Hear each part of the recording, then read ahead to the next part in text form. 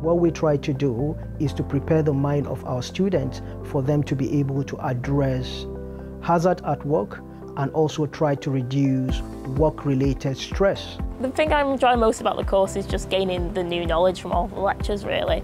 It's just so vast, all the concepts that are covered.